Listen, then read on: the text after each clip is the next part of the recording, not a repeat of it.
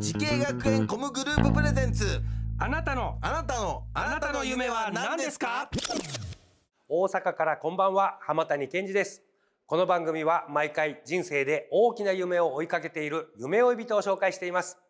今日の夢追い人はこの方です夢をその途中にそばにある音楽をコンセプトに活動しております夢の途中ですギターボーカルのねねかですベース担当の達也です。ドラム担当の大吉です。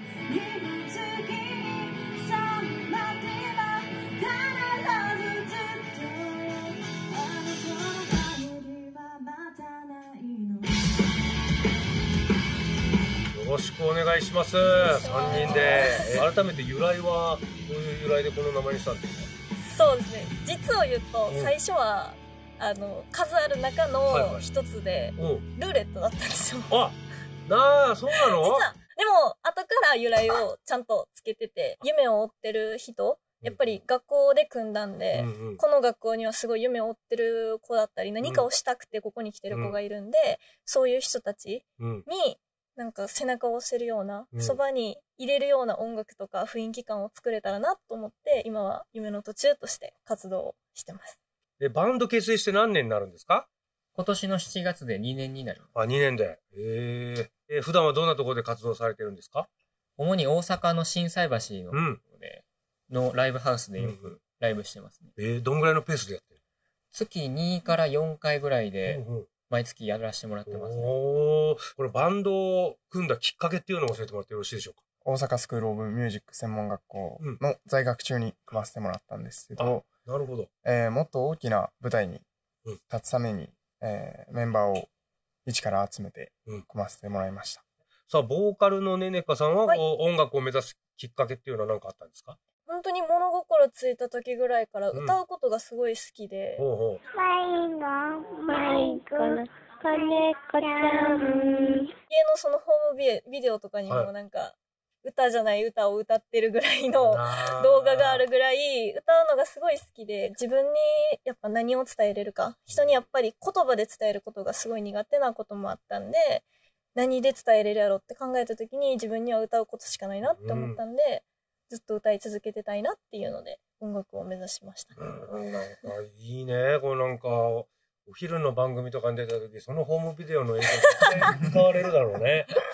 恥ずかしい、ねえさあ、続いて、達也さんは、はいいつから音楽を目指したんですか？高校1年生の時にうん軽音楽部に入学し、入部して、おそこからベースを始めたんですけど、ーもう、ここからベース。はい。高校2年生の17歳の時に全力を費やせるのが音楽うん。だったので、じゃあもう音楽を一生やっていこうっていう思いを持って、うんその音楽を目指すきっかけはそこからでしもうベースでこれでプロになるんだって、公認の時に思って。た。はい。大吉くんは、僕中学2年生の時に、はいバンド好きな友達がいて、その頃は自分全然楽器とかもしてなくて、はいはい。音楽も全然そんなに聴いてなかったんですけど、その友達にバンドに誘われて、うん。で、その時にドラムがいなくて、でうんドラムを無理やりやらされたんですよ。ドラムって無理やりやらされる楽器じゃないでしょ。そうなんですよ。かなり、かなり準備するねえ、ものも多いんですけど、ドラムだドラムセットどうしたの？いや、もう、なくて、なないので、もうスタジオに練習しに行くしかなくて、うん。まあ、中学3年生の時に電子ドラムをっていうのを親に買ってもらって、それで練習してて、もう本当にドラムにはまってしまって、え。で、高校生になってから、うん。このまま、こう、一生打ち込んでいけるものを何かないかなと思った時に、やっぱ音楽だなと思って、この大阪スクールオブミュージック専門学校にを目指して、はい、入学しようと思ってやってました、えうん、なるほど。さあ、えーそんなね、様々な思いで音楽業界を目指す3人が出会った学校とコース、専攻名を教えてください。大阪スクールオブミュージック専門学校のプロミュージシャン科の私はボーカルプロフェッショナルコースです、なるほど。えねねかさんがボーカルプロフェッショナルコースで、達也さんはプロミュージシャン科のベースプロフェッショナルコースです。で、大吉さんは？プロミュージシャン科のドラムプロフェッショナルコースです。あなんかもうそれぞれもうボーカル、ベース、ドラムと綺麗に。いや、この学校をね、そもそも選んだ理由っていうのをちょっと教えてもらおうかな。じゃあ、達也さん。講師のレベルがうんそもそも高く、へえ。えーえー実際、オープンキャンパスに来た際にも、教えてもらう際に、うんすごくわかりやすい教え方と、やっぱり距離感がすごいいいなと思い、うん。この大阪スクールオブミュージック専門学校に選びました。あなるほど。なんか生徒と講師の距離感もなんか近くていい、はい。よかったなと思ったってことですね。大吉さんはなんか決め手は？オープンキャンパスに来た時に、あのー、設備をいろいろ紹介してくださったんですけど、はいはいその設備が本当にすごくて、うんプロが使ってるような機材とか、うん。ほんまに、ここやったら、プロを目指す環境としては最適かなと思ってうんうん、に入らせていただきました。えこの学校入れば設備がすごく充実しそうなんです。してるということで。はい。そうだね。ベースプロフェッショナルコースっていうのはどんな授業あるんですか？グルーブアナライズっていう、うんえーとまあ、言っちゃえば基礎練習のはい。授業なんですけど、まあ、すごいグルーブというものを改めてこう知らされるというか、おーグルーブっていう言葉は私も聞いたことありますけど、いまいち理解はしてないんじゃないかな、みんな。グルーブそれを理解するための授業でもあり、普段のベースラインを弾く上でも、すごい大ヒントになるものを受けれる授業であります。なるほどはい。大吉さんはどんな授業ありました？楽器コースと、えっと、まあ、ボーカルコース含めて、一緒にやる授業があるんですけうんど、そのうん。アンサンブルの授業があって、うんうんうん。あの、それぞれのコースからみんなでこう集まってきて。一つの曲を課題曲にして、ほそれをアナライズして、みんなで合わせう。てほ練習するっていう授業がありますねう。。ああ。じゃあこれ、当然ボーカルプロフェッショナルコースのねねかさんもいました。そこ行って。はい。その時の第一印象を教えてもらおう。それぞれ第一印の。それぞれの。まあでも、自分からすると、本当に歌以外の分からなかったんで、もううまい。うん。うまい。ただただうまい二人。おおうまい二人だって。逆にお二人のねねかさんの第一印象は？めっちゃ花がある子やなと思って。ああ、花あるよね。ありがとうございます。いやー、じゃあ、ちょっとみんな第一印象は、もうなんか、好印象というか、うわ、すごいなって、お互い思ってたのかな。はい。そうですね。うん。自分たちのね、うん、バンドに最も影響を与えた授業っていうのはありますか？そうですね、うんバンドディレクションという授業あがら、なんでしょう、あそれ？って、うん本当に作っているバンドで受ける授業うんうん。なんで、3人で一緒に受ける授業なんですよ。ほうほで、いつもスタジオで練習してるう。はい。んですけど、いそのスタジオに先生方2人が来て、うん。自分たちの今練習していることだったり、ライブに向けての投資の練習だったり、うん新しい新曲だったりを見ていただくっていう授業なんですけど、やっぱバンドはもう3人の中のうん。ものを育て上げないといけないんで、音作りだったりとか、うんもっとこうしたらいいんじゃないっていうのを先生方が詳しくもっと教えていただくっていう授業が、やっぱり自分たちの中ではありがたかったなって思ってます。この3人だから出るなんとか、うんみたいな、うん、それこそグルーブはい。はい。そういうのを、こう、み先生2人が来て見てくれる。そうです。それじゃあ、いつもと違う緊張感あるんじゃないい？や、もう全然アットホームで、アートホームなのそれこそプリンセスプリンセスのベースの渡辺敦子先生はい、が担。当させてるんですけど、はい。あの、いつも会うたびに、ねねかはすごいいつも太陽みたいだねっていつも言ってくれるんですよ。優しいんだ。すごい優しくて、自由でありながらも、しっかり教えてくださる授業なんで、うん、なるほど、なるほど。さあ、今日の夢追い人は大阪スクールオブミュージック専門学校で音楽活動をスタートさせた夢の途中の3人、ねねかさん、達也さん、大吉さんの3方にお話を伺っております。えー、卒業して思う、この学校の良さとかありますか？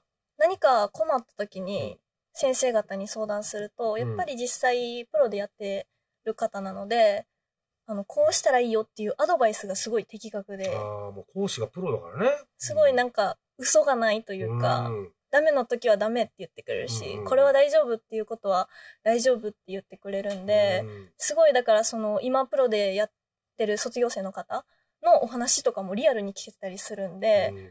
この人もこんなんだったよっていうのを言ってくださると、あ、自分もじゃあもっと頑張れるんやっていう励みにもなったんなるで、ね。それはこの学校でしか味わえないことかなとは思ってます。なるほどえーこれまでこう、オリジナルの曲とか、うんそういうのは何曲ぐらい作ったんですか？13曲。13。え、なんか一押しの楽曲？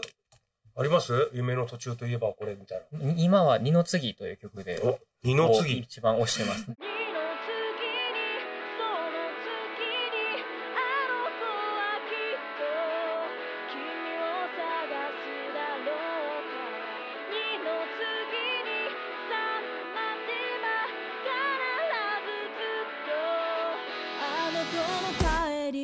また